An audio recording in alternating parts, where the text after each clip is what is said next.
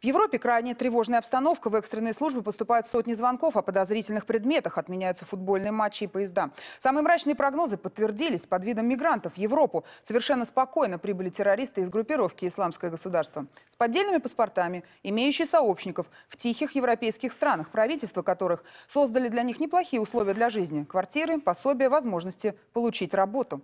О том, что теперь готовы предпринять евро-чиновники для защиты своих граждан. Репортаж Дмитрия Сошина.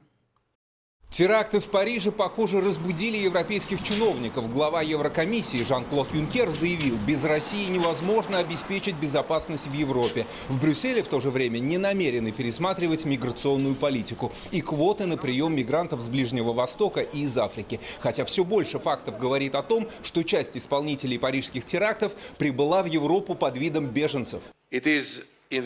Все решения по миграционной политике остаются в силе. Мы должны понимать, что террористы не являются мигрантами. Если мы будем смешивать их, то это будет именно то, на что рассчитывали организаторы теракта во Франции. Возле штаб-квартиры Совета Европы и Еврокомиссии военные патрули. Именно из столицы Старого Света, точнее из расположенного неподалеку района Маленбек, начали свой путь в Париж по крайней мере трое из террористов. В Бельгии сохраняется повышенный уровень опасности. Бойцы спецназа до сих пор дежурят возле иммигрантских кварталов. Если вдруг возникнет необходимость проведения новых рейдов. Несмотря на то, что полицейская операция в районе Маленбек давно закончена, на улицах Брюсселя остается много вооруженных патрулей. Но особое внимание здесь, на центральном вокзале города, к поездам, которые прибывают из Парижа. У многих пассажиров, которые выходят на платформы, проверяют документы. У некоторых тщательно обыскивают багаж.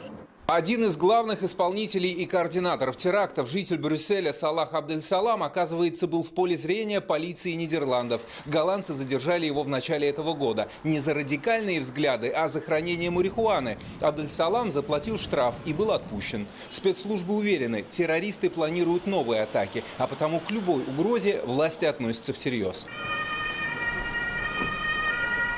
Накануне немецких и голландских болельщиков, они приехали в Ганновер на товарищеский матч своих национальных сборных по футболу, эвакуировали прямо со стадиона. Игру отменили из-за угрозы взрыва. В Ганновере опасались из-за безопасность главной болельщицы Ангелы Меркель.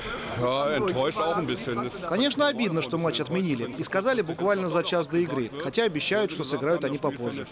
Почему вас не пустили? Они просто закрыли стадион и вроде там нашли какой-то подозрительный сверток. Я думаю, все из-за него.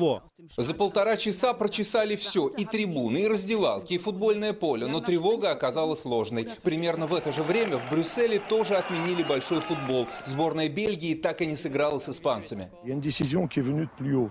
Решение об отмене матча пришло сверху. В последний момент нам сообщили, что встреча не состоится, и это не важно, согласны вы с этим или нет. Для меня человеческая жизнь важнее, чем футбольный матч.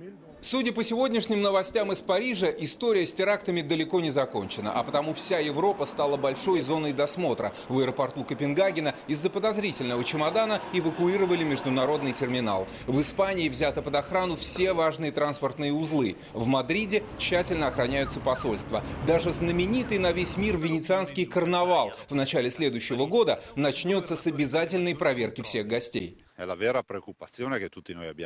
Если человека нечего скрывать, думаю, для него не будет проблемой пройти через рамку, дать на проверку документы и снять маску.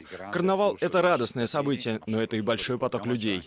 В атмосфере всеобщей подозрительности службы спасения и полицию во всем мире часто дергают по пустякам. Иногда потенциальных террористов видят в любом человеке с восточной внешностью. Из самолета, собиравшегося лететь из Балтимора в Чикаго, высадили четырех говоривших по-арабски пассажиров. Их соседям показалось, что те на своем мобильном телефоне смотрят видеоролики, запрещенные в России группировки «Исламское государство». На самом деле женщина-мусульманка смотрела видеосообщение своей подруги. Два рейса в Париж авиакомпании Air France, они летели из Лос-Анджелеса и Далласа, посадили в Америке. Якобы из-за информации о заложенной на борту лайнеров бомбе. Угроза безопасности для Европы и Германии серьезная, очень серьезная. После событий 11 сентября весь мир осознал свою незащищенность от террористов. Но драма в Париже и взрыв российского лайнера над Синаем вновь заставили усомниться в том, что существующая система безопасности совершенна. Дмитрий Сошин, Павел Лихолетов, Первый канал, Брюссель.